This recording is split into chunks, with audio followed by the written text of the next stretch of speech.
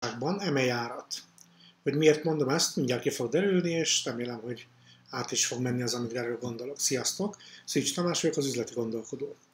Szóval a válságban emeljárat, ez azért lett gyakorlatilag bevett szokás, mert a válság az mindig egy nagyon-nagyon rövid távú gondolkodást igényel. Ilyenkor a hosszú távú gondolkodás az csak egy álom, egy, egy lehetséges gondolatsor, de tervezni, valósat tervezni csak és kizárólag rövid távra lehet. Az áremelés azért van szükség ilyenkor, mert maga a profitod lesz az, ami képes gyakorlatilag a válságon átvezetni, tehát hogyha nincs olyan kellő profitod, és nagyon sok cég avval próbált válság elhárításokat létrehozni, hogy elkezdett árat csökkenteni, ezáltal csökkentette a profitját, a kiszámíthatatlan holnap, holnap után egy hét, két hét, egy hónap rovására, mert fogalma nem volt, hogy mit vezetnek be, hogy vezetnek be, mit fognak lépni, hiszen nem volt erre példa. Tehát ilyen típusú válság amúgy sem volt ugye még, maga a válság pedig pontosan megmutatta az elmúlt 5-6 darab válságban is, hogy mi az igazi megoldás.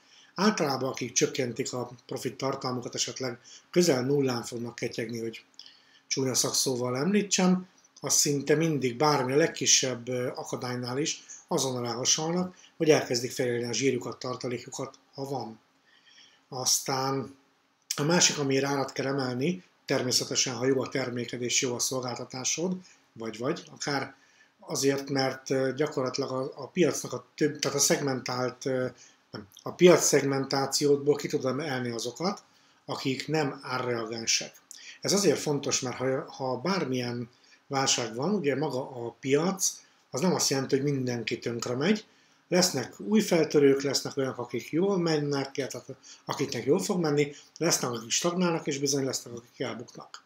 Ha ne adj Isten, te a, a menő, illetve a tovább fejlődő cégek között leszel, akkor a újonnan belépő, esetleg nagy anyagi háttérrel, hatalmas marketinggel érkezőknél de valójában a profit tartalékoddal van lehetőséged először is egy kis árkedvezményt adni, amit annyira én nem javaslok, azt hiszem már elégszer elmondtam, hogy miért, ha nem, akkor még biztos, hogy elfogom, illetve van tartalékod arra, profit tartalékod is, hogy oda beépítse olyan szolgáltatást, ami leg, hát a legkevesebb többletet fogja hozni.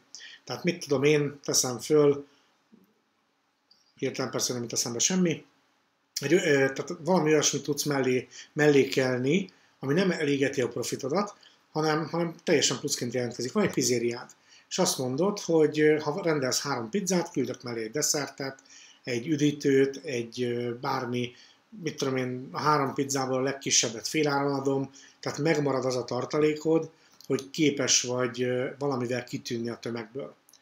Én azt gondolom, hogy ez lenne az elsődleges mondani való ebben kapcsolatban, hogy miért is kell árat emelni. Ezen kívül azért vannak még oldalárak, ezt most átlépem, mert rövid az idő erre, illetve azt gondolnám, hogy ez a legfontosabb oka.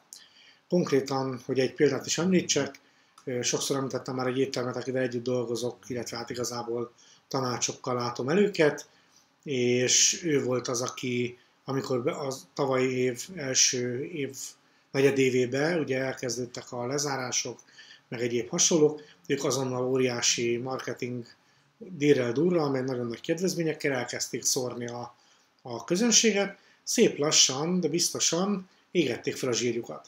Aztán amikor hóvégén jöttek a számolások, és mutatták a számaikat, akkor úgy pontosan látszott belőle, hogy ott bizony vékonyodott a profit, vékonyodott a profit tömeg. Tehát az azt jelenti, hogy a, hogy a forgalmuk nőtt, de a profitjuk csökkent. Ezzel az a baj, hogy ez így működik.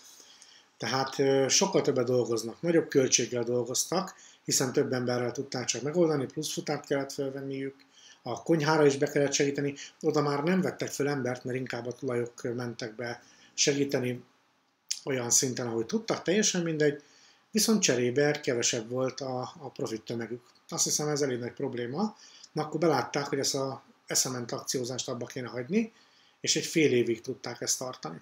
A utolsó, hát kicsit több mint negyed évben elkezdtek újra és újra akciózni, hogy majd ők úgy megnyomják a november-decembert, hogy ott étterem nem marad a környéken, mert mindent ők fognak learatni. Erre még plusz hitelt is vettek föl felújításra, átalakításra, viszont az áraikhoz nem nyúltak.